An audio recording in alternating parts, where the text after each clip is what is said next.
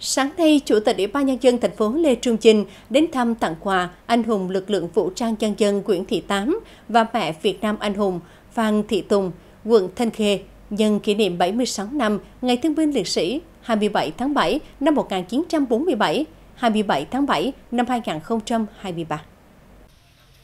Tại gia đình anh hùng lực lượng vũ trang nhân dân Nguyễn Thị Tám, Chủ tịch Ủy ban nhân dân thành phố Lê Trung Chinh hỏi thăm sức khỏe và bày tỏ lòng biết ơn sâu sắc trước những công hiến của anh hùng lực lượng vũ trang nhân dân Nguyễn Thị Tám và gia đình trong sự nghiệp xây dựng và bảo vệ Tổ quốc. Đồng thời mong muốn gia đình tiếp tục phát huy truyền thống cách mạng, bảo ban con cháu học tập, góp phần xây dựng thành phố ngày càng giàu đẹp, văn minh, hiện đại.